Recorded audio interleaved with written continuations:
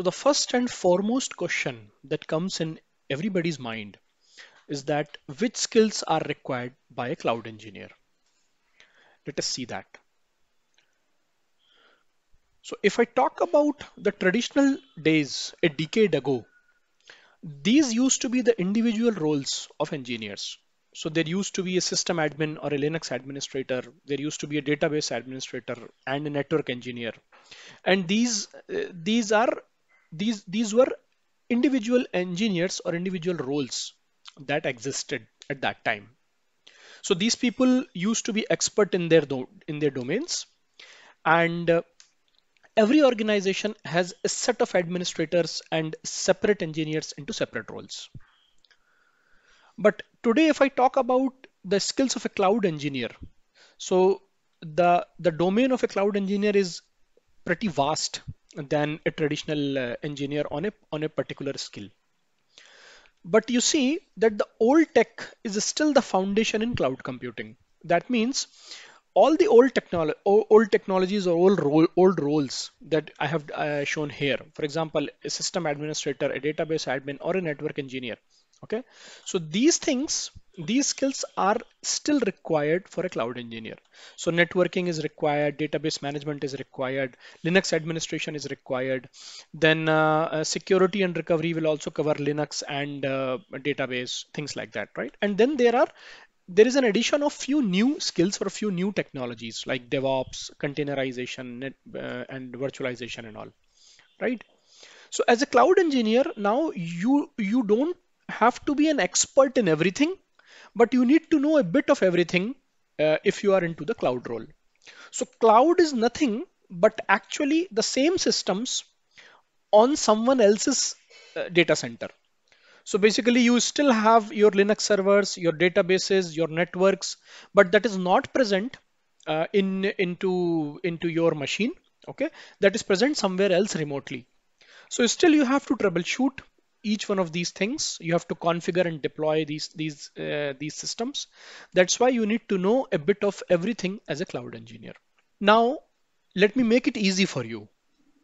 Actually these skills are a combination of two things fundamental skills plus platform knowledge. So you should be able to differentiate what is a fundamental skill and what is a platform specific skill or platform knowledge so fundamental skills, I have put two things which you just cannot skip if you want to learn technology. Technology, but I mean from technology, I mean uh, anything that is related to uh, cloud or softwares or IT or systems. So Linux and networking. These are the two fundamental skills that you just cannot skip. Linux is everywhere. Without Linux, there is no cloud, there is nothing which can be imagined.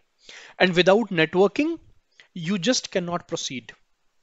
If you, it doesn't matter whether you are a developer, you are a deployment engineer, you are uh, a systems or a solution architect, a systems engineer, anyone. If you don't know Linux and networking, you just cannot grow in your tech career. Remember these this thing. Okay, so two skills are fundamental skills that is Linux and networking, which are required at any cost. Then we have platform specific knowledge. So in case of private cloud, the two platforms that are widely used in, in, in market or in industry are OpenStack and VMware. So if you want to develop yourself into the private cloud area, you need to uh, you need to learn either OpenStack or VMware or a combination of both if required. And fundamental skills you need anyway. And if you are trying to develop yourself into the public cloud area, then you need to know any one platform out of Azure, AWS, or Google Cloud. Okay, so without these platforms knowledge, you cannot proceed into the public cloud domain. There is a third skill.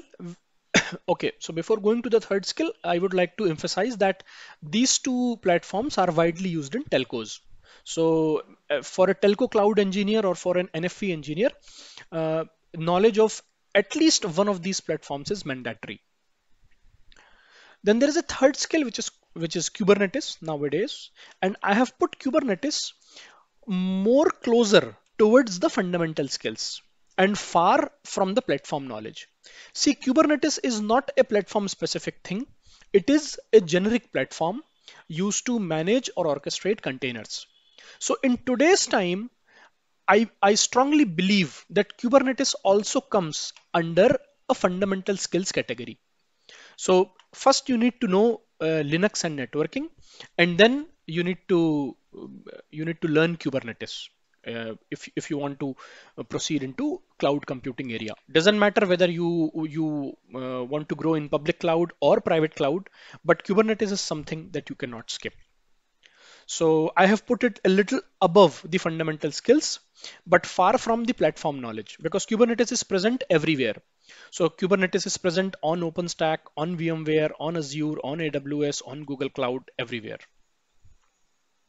The next question that comes in in your mind in your mind is that should I learn public cloud or private cloud?